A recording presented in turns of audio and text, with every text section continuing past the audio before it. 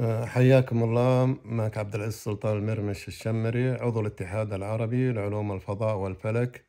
أه، باحث علمي فلكي رئيس قسم المراصد الفلكية مدينة الملك عبد العزيز للتقنية أه، والآن متقاعد من عام 1339 1439 هجرية.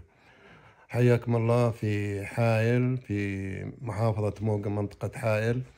وفي موضوع الزلازل وخاصة الزلزال اللي ضرب تركيا وسوريا هذا هذه الأيام هو زلزال قوي جدا وصل إلى تقريبا سبعة فاصلة ثمانية من عشرة درجة وهذا يعتبر زلزال مدمر. وأعتقد أنه أقوى زلزال يضرب تركيا والمناطق هذه منذ ما يزيد عن مئة عام. آه، تأثيره والارتدادات على الجزيرة العربية بشكل عام وعلى الخليج العربي والبحر الأحمر آه، كما هو معلوم أن هناك حزامين حزامين ناريين زلزاليين يحيطان بالجزيرة العربية. الحزام الأول جهة إيران وهذا هو الأخطر على الجزيرة العربية بشكل عام خاصة الخليج العربي والمناطق المحيطة بإيران من جميع الجهات آه، وهذا هذا الزلزال أو الشريط الزلزالي في إيران وصل تقريبا في أحد الأيام أنه حصل زلزال في في إيران وصل تقريبا إلى سبعة سبعة فاصلة خمسة من عشرة درجة. يعني زلزال في آه، زلزال رود بار في إيران عام 1990 آه، في 21 يونيو الساعة 12 ونص ليلا قوة الزلزال وصلت إلى 7.4 من عشرة درجة. وفي أي وقت احتمال أنه يتكرر أشد من هذا الزلزال خاصة هذه الأيام آه، من خلال تحرك الشريط الزلزالي اللي هو الحزام الناري في تركيا تقريبا ثلاثة أمتار أو أربعة أمتار مرة واحدة دفعة واحدة. تحرك ف... لجهة وين؟ اتجاه أوروبا. فبالتالي قد تتحرك الصفيحة الإيرانية الصفيحة الآسيوية باتجاه تركيا تقريبا ما يزيد عن ثلاثة أو مترين. فهذه الصفيحة مرتبطة مع بعض. هذا الارتباط قد ينتج عنه زلزال قوي في إيران. آه، يصل قد يصل إلى سبعة ونص أو سبعة تسعة من عشرة كما هو متوقع في حالات زي الحالة الطارئة الآن. وبالتالي لابد من أخذ الاحتياطات اللازمة في الخليج العربي لأن آه، أي زلزال في إيران سوف يؤثر على الخليج العربي وبالتالي على الدول اللي مطلة على البحر على الخليج العربي بشكل عام. فزلزال إيران لم يتحدث عنه أحد. الزلازل في إيران خطيرة جدا. أيضا هناك شريط زلزالي آخر. حصل زلزال في صعدة باليمن في 11 واحد 1941 ميلادي. قوة الزلزال 6.5 درجة. توفي أكثر من 1200 شخص في ذلك الوقت. يعني ما كان في كثافة سكانية. في عام 1941 توفي 1200 شخص وجرح أكثر من 200 شخص في صعدة باليمن جنوب المملكة العربية السعودية. وهذا قد يتكرر أيضا في أي لحظة في بالنسبة للصعدة وجنوب المملكة. فنحن محاطين الآن بهذين الحزامين الناريين جهة آه، الغرب زلزال الحزام الناري التركي اللي هو بعدين سوريا الأردن فلسطين ومصر. وبالتالي أيضا حصل زلزال في العيص. في المملكة العربية السعودية قبل أكثر من عدة سنوات وبالتالي أنه عام كم حصل؟ بالنسبة لزلزال العيص أتوقع عام 1900 9 1900 1400 1909 2009 2009 ميلادي.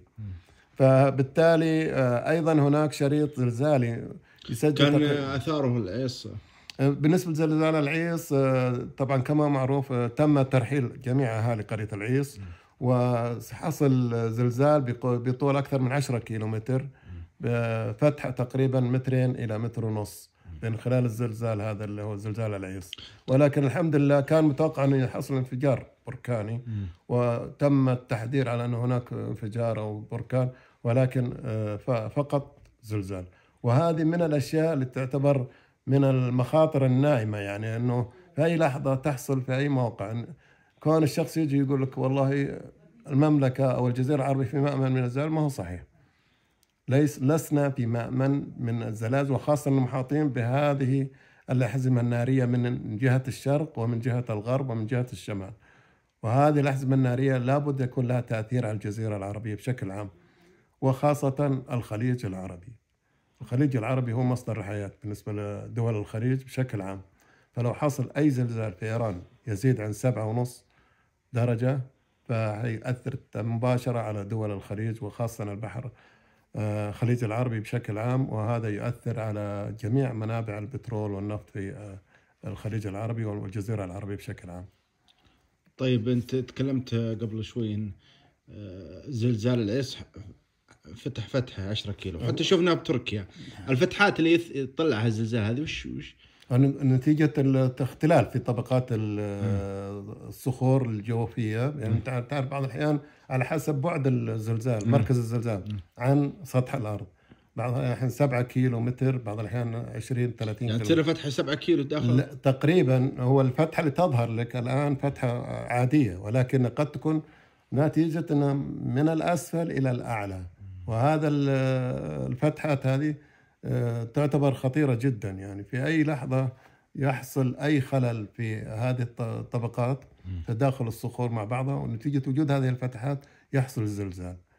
آه، ولذلك إحنا أول شيء آه، ندعو الله سبحانه وتعالى أن يلطف بالأخواننا المسلمين في تركيا وفي سوريا وأن يرحم الموتى وأن يشفي الجرحى وأن يعوض على من فقدوا مساكنهم وأملاكهم.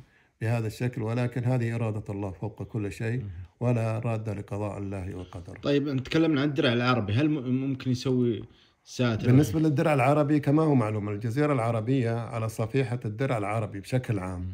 والدرع العربي آه، تقريبا يمتد من جبال أجا في حايل ويمتد إلى جبال في القصيم وإلى الطائف ومن إلى جهة المدينة المنورة فهذا الدرع العربي صفيحة متماسكة بإرادة الله سبحانه وتعالى الخلل في الدرع العربي في صعدة في اليمن جهة اليمن فهذه الصفيحة عندها اختلال قوي جدا في جهة صعدة وجهة اليمن واحتمال في أي لحظة إنه يحصل هناك زلزال في المواقع هذه. طيب الدرع العربي ما يمكن يكون يعني ساتر حماية ولا لا الدرع العربي هو المشكلة إنه كل صفيحة متكاملة.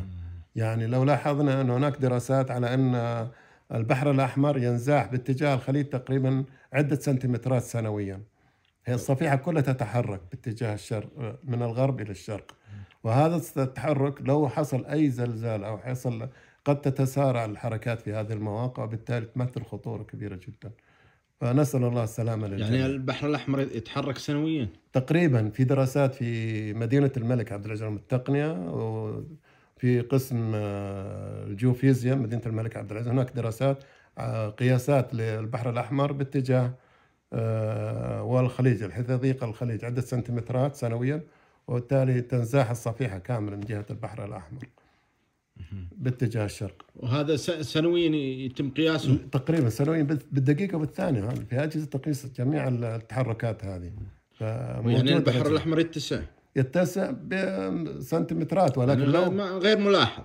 ما لا صعبا لازم أجهزة. طبعا أجهزة دقيقة جدا في قسم الجيوفيزياء وهذه الأجهزة معروفة ويعني متابعة الوضع يعني. طيب طلع كلام من يعني من فلكيين يقولون في الجزيرة العربية في مأمن في مأمن.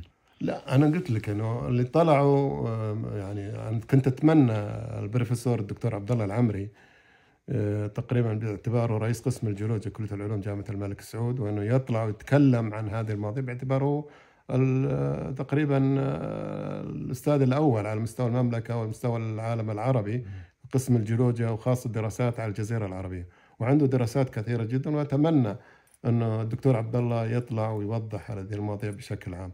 أما الهواة والذين يعني يتكلمون بدون أي تخصص أو بدون أي مجال في مجال الجيولوجيا فلا يؤخذ بكلامهم عادة. العبرة في المتخصصين في قسم الجيولوجيا وخاصة الأستاذ الدكتور عبد الله العمري. شكرا.